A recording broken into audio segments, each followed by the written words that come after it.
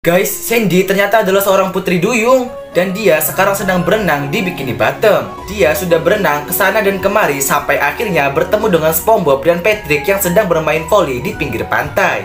Di situ Sandy berhenti dan memperhatikan SpongeBob terus nih guys. Ternyata Sandy itu suka saat pertama kali melihat SpongeBob. SpongeBob yang sadar keberadaan Sandy, dia pun melambaikan tangannya. Eh tapi si Sandy malah pergi karena dia malu banget guys. Kemudian di malam hari Sandy terdiam dan memikirkan SpongeBob.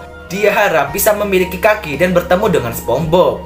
Terus, seketika itu ada bintang jatuh dan Sandy pun berdoa untuk memiliki sepasang kaki. Ajaib banget guys, doa Sandy langsung terkabul dan sekarang dia sudah menjadi tupai seutuhnya.